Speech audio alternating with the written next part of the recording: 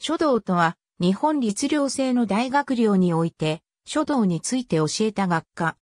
書博士が書生を教えることとされていたが、学令には書生に関する規定はあるものの、学生定員を定めた職員令には、書生の定員規定が書かれておらず、若干なであったと考えられている。書生は、書の良し悪しによって優越が判定され、説問開示の理解など事態などについての知識も求められた等の制度よりも簡素化されており、試験に求大して内規などの初期的な感触に配されたようである。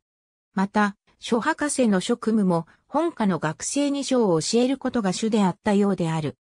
学齢書学生上によれば、上中科の3段階で評価され、上中であれば、旧大とされ三道の高大、オツ大と同様に名簿の例に準じて、上大に大祖以上、中大に大祖以下が除位された。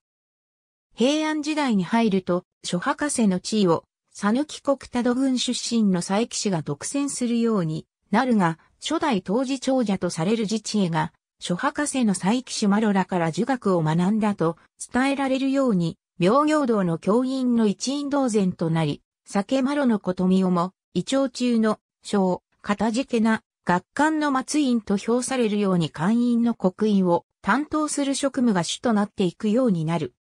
11世紀に入ると、諸博士そのものが、明行博士を世襲した清原氏、中原氏の一族のための待機ポストと化してしまい、学科としての書道は完全に消滅したと考えられている。ありがとうございます。